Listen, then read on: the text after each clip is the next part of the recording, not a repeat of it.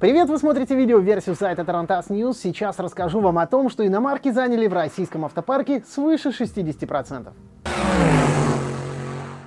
Экспертами аналитического агентства «Автостат» было подсчитано, что в нашей стране насчитывается 28 миллионов 200 тысяч легковых машин иностранных марок.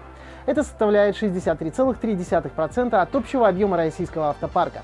Среди самых распространенных иномарок в России наибольшая доля приходится на японские – 22,7%. Почти в два раза меньше зарегистрировано автомобилей корейских брендов, доля которых составила 11,8%.